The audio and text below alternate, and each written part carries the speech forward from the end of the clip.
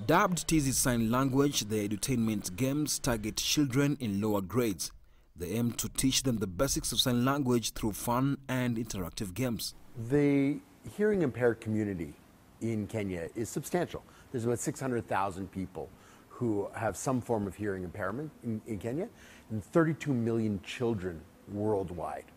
And what's interesting is that in Africa, the percentage of people who have hearing impairment is actually five times as high uh, as in developed countries.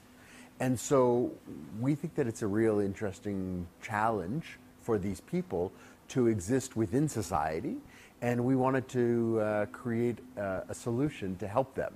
Uh, and by teaching the rest of the community KSL or, or Kenya Sign Language, uh, it opens up greater communication channels for these people. The sign language game includes a set of mini games to teach the alphabet and numbers. The games include snap, pairs, guess signs, and raining characters. For the snap game, a player is assigned a number.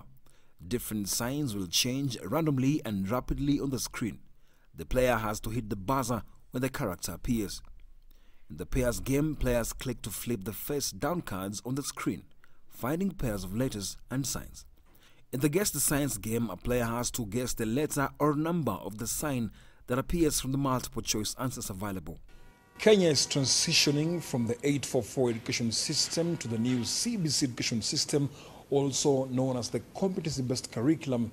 And in this situation, the country education system is trying to amalgamate this game to make sure students can be able to communicate with their counterparts who have hearing impairments. By introducing gaming into the classroom, it makes the educational content more fun, more interactive, but also more accessible to everyone. Um, and so that's a big part of our motivation.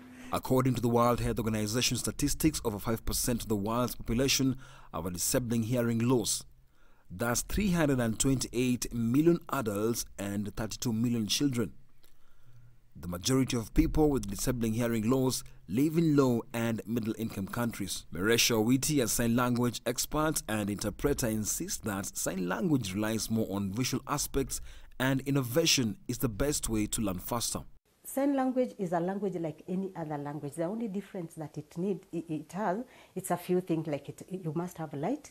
It's a contact, eye to eye contact, and it's a physical thing. That is the only difference. But every other thing, all the properties of a language, sign language has. Every other thing, culture and all that, it has. So it is not. It is just like learning another language.